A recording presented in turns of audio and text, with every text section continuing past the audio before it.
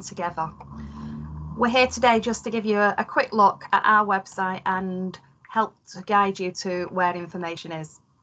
Our website address is www.actiontogether.org.uk.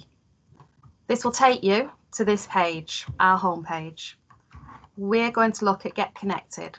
This will give you all the help and support needed for groups. For example, how to start a group. You just click on it and scroll down.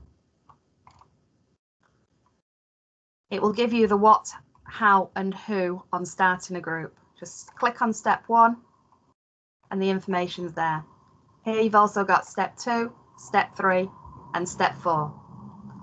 If you need to go back, just on the top left hand side, the arrow will take you back to the first step. There is also information on running a group.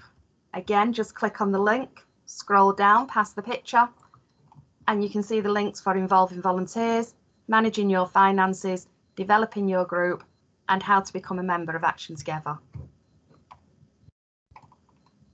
There is also information on managing your finances, proving your impact, and information on the latest on COVID-19. We're also going to look at find funding. Again, just click on the find funding. It'll take you to the straight to the page.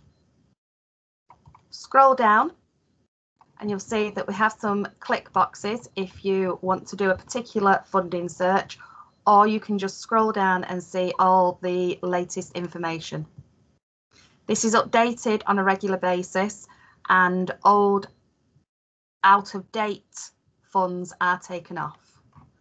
If you want to do a search, my suggestion would be that you click Oldham, Rochdale and Tameside. You click the type of group you are. So if you are a constituted group or a CIO or uh, maybe a social enterprise. And then possibly the funding theme. If you are working in the children and young people field, click that and then just apply, just click apply. Scroll down and it will give you information on grants that are available for that search. You then just click on the link.